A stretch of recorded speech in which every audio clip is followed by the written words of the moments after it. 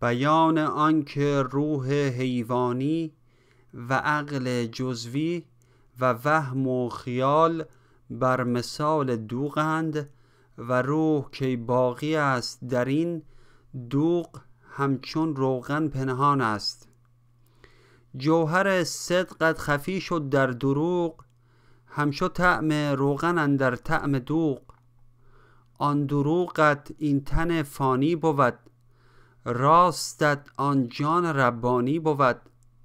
سالها این دوغ تن پیدا و فاش. روغن جان اندرو فانی و لاش.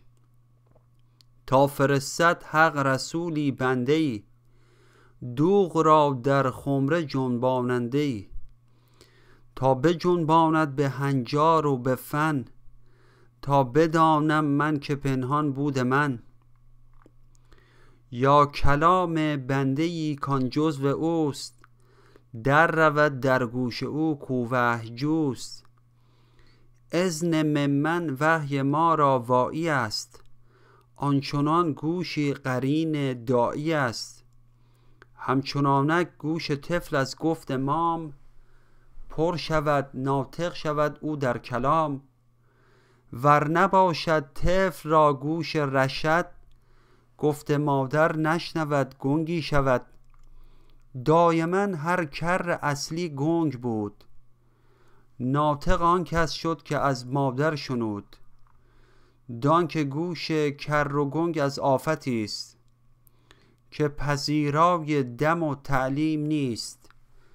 آنکه بی تعلیم بود ناطق خداست که صفات او ز علتها جداست. یا چو آدم کرده تلقینش خدا بی حجاب مادر و دایه و عزا.